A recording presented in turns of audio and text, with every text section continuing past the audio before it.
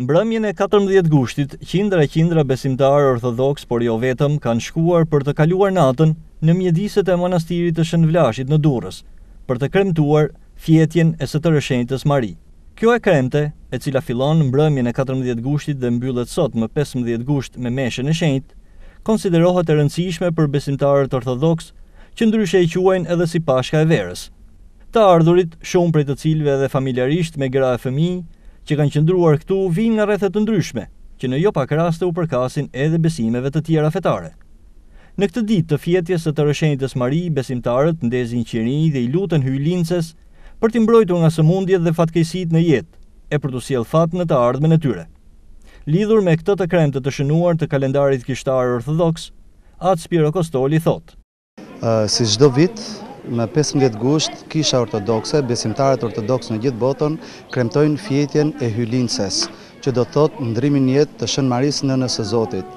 Dhe për këtë të kremte, me qindra dhe mijëra besimtarë vijnë edhe nga vende të ndryshme, nga zonat përreth qytetit të Durrësit, vijnë për të kremtuar këtë të kremte të shenjtë në Manastirin e Hirshëm të Shën Vlashit.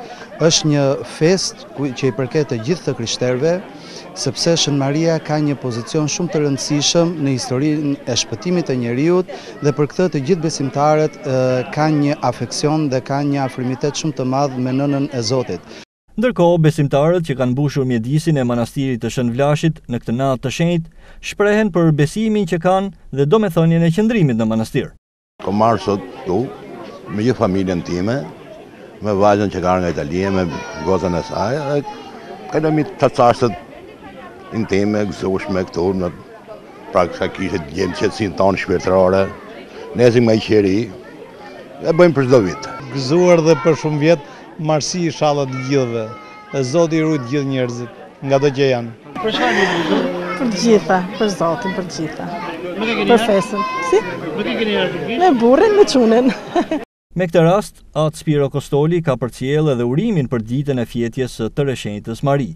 Të gjithë njerëzve, pa përjashtim, edhe të krishterëve edhe jo të krishterëve, urojmë gëzuar këtë të kremte të madhe, të fjetjes së Hyjlindëses së Tërshenjtë. Zoti t'i bekojë dhe Shën Maria ndërmjetoftë për të gjithë ne pranë Birit të saj që të shpëtojmë të gjithë. Gëzuar dhe për shumë vjet të gjithëve.